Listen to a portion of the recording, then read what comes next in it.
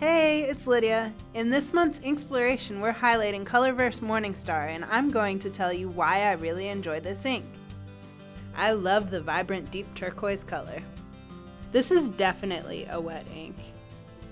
This ink has a long dry time, over 30 seconds on Rhodia paper, but it was otherwise well behaved. There was no bleed through on the Leuchtturm paper, even with the Q-tip swab. It is a gorgeous color, but be very careful using it around any liquid. I love the dual packaging of Colorverse. The 65ml bottle is great for home use, while the 15ml bottle can be left at the office for emergency refills or even given as a gift to penable a friend. The swabs and splatter also show a gorgeous sheen. Maybe with a wet writing broad nib, you could even get that to show up in your writing. This flower drawing is something I've done since high school, whenever I was bored, stressed, or fidgety. There is something so soothing about this drawing. You legitimately start out with a small dot and then just keep drawing petals.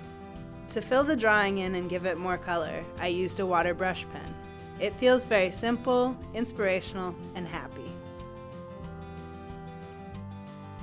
Thanks for joining me on this exploration. To learn more, check out Colorverse Morningstar at gouletpens.com.